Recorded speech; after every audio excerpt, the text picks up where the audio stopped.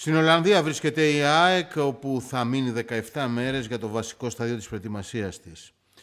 Να πούμε ότι στην αποστολή βρίσκεται και ο νεοποκτηθής ο Σταύρος Πίλιος, ε, η Αφρικανή Λαμαράνα και Γεμπόα, αλλά και ο Σέρχιο Αραούχο. Στην τελική ευθεία είναι η έλευση στόπερ για την ΑΕΚ και η θετική έκβαση στην υπόθεση του Πινέδα. Αναφορικά με το θέμα του Πινέδα, να πούμε ότι χθες ο μάνατζερ του έκανε δηλώσεις για την υπόθεση του Μεξικανού, τονίζοντας πως πρώτο μέλημα του πελάτη του είναι να συνεχίσει στην ΑΕΚ και εξέφρασε την πίστη πως το deal μπορεί να έχει κλείσει μέχρι και το Σάββατο. Η Ένωση κατέθεσε πρόταση στον Άρη για τον Λουίς Πάλμα. Πρόκειται για έναν παίκτη που ξεχώρισε πέρυσι για την ομάδα της Θεσσαλονίκης έχοντας 13 γκολ 8 assist σε 36 συμμετοχές.